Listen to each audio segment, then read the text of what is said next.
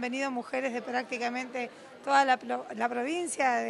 han hecho cientos de kilómetros para poder estar hoy aquí. Esto muestra que realmente hay una necesidad,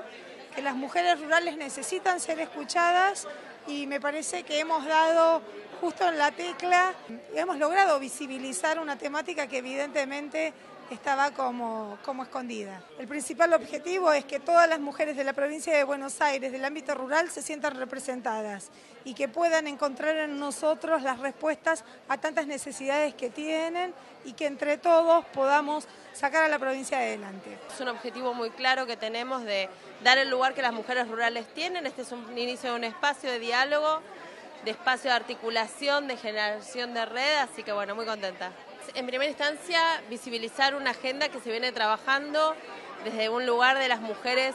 más en silencio que sabemos que sucede, como distintos puntos que abordamos las mujeres. Segundo lugar,